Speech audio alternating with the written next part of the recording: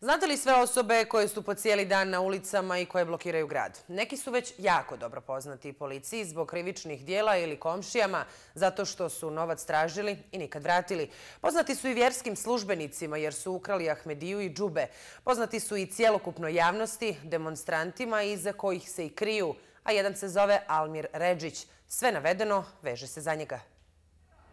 Prije nekoliko dana reklo bi se drama na ulici. Vozilo prošlo kroz masu i povrijedilo dvoje. Jednom ruka slomljena. Zapamtite dobro ovo lice. Ovo je situacija koja je opisana u direktivama o ponašanju demonstranata. Instrukcije su stigle iz Beogradskog centra za primjenu nenasilne akcije i strategije ili skraćeno Canvas. O tome smo sinoć detaljno govorili, a jedna od uputa se odnosi na situaciju kada vozilo prelazi masu. Upravo čitate kako glasi i kako se primjenjuje.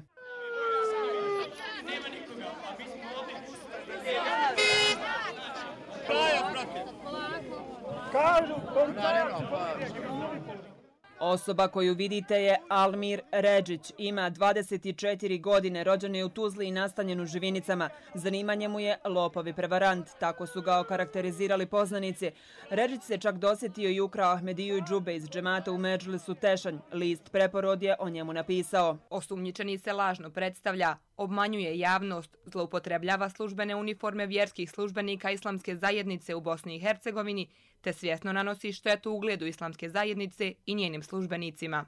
Vlasnik jedne trgovinske radnje Živinica, koji je pute medija prepoznao Ređića, kaže da mu je prije nekoliko mjeseci ostao dužan stotinu maraka. U početku se javljao na pozive i tražio sam da plati robu. Nakon toga je počeo lagati i govoriti da je u Tešnju kod djevojke, potom u Sarajevo. Na kraju je promijenio broj mobitela, kazao je vlasnik. Pitanje je koliko je ovakvih ili sličnih na ulici, čije zahtjeve zastupaju i do kada će grad držati blokirani. Znamo samo po čijem diktatu sve to rade. A povodom jučerašnjih protesta u Sarajevu, tokom kojih su izvršene blokade glavnih saobraćajnica u centru grada, a zbog čega je bio obustavljen tramvajski i trolejbuski saobraćaj, oglasio se i ured policijskog komesara MUPA kantona Sarajevo. Najavili su sankcije za vlasnike taksi vozila koji su blokirali raskrsnice. Jučerašnjim protestima građana Sarajeva pridružio se veliki broj nelegalnih taksista. Prvo su blokirali saobraćajnicu Alipašina Hamze Hume. Jedan dio taksi vozila kasnije se premjesti u raskrsnicu Obala Kulina, da bi na kraju pet taksi vozila blokiralo ulicu Rejsa Džemaludina Čauševića. To je dovelo do potpune blokade saobraćaja u Sarajevu i velikog nezadovoljstva građana, koji su morali po kiši pješačiti do svojih odredišta. Nakon završenih protesta, upravo policije MUPA kantona Sarajevo poduzela je prve korake ka kažnjavanju počinitelja prekršaja. U saopćenju kojeg su izdali pored ostalog, navodi se. Prema registarskim tablicama utvrđeno je da je 17 vozila sa područja kantona Sarajevo, tri vozila s područja opštine Vareš, po dva vozila iz Jablanice i Konjica, a po jedno vozilo iz Olova, Živinica, Orašja, Kaknja, Hampijeska, Istočni Iliđe, Goražda i Kladnja.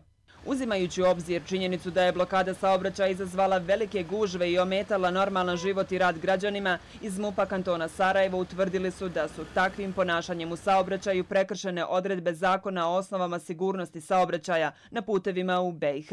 Vozači vozila biće sankcionisani za počinjene prekršaje, te će im biti izdati odgovarajući prekršani nalozi.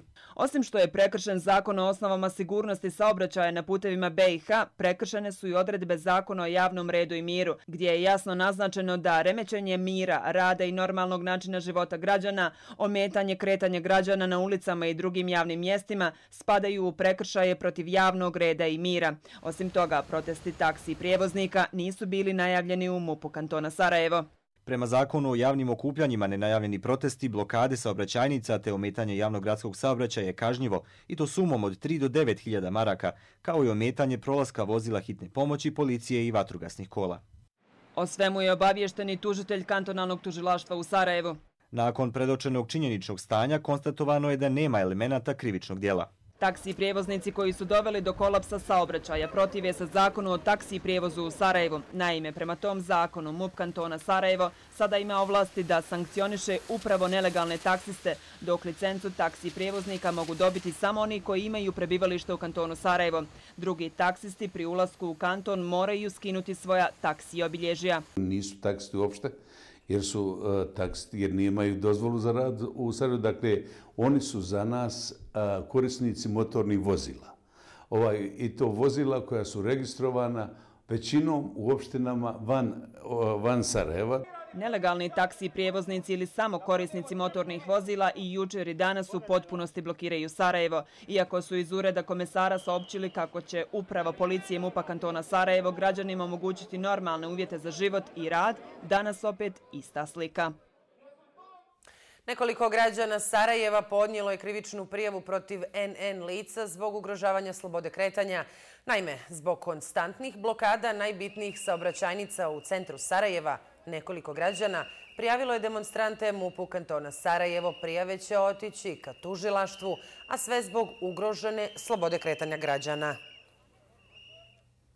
Vlada Federacije BiH na današnjoj sjednici usvojila izmjene zakona o unutrašnjim poslovima kojima je vlastila ministra i direktora federalne policije da izdaju naredbe i angažiraju sve policijske jedinice u ovom entitetu u slučajevima masovnog narušavanja javnog reda i mira.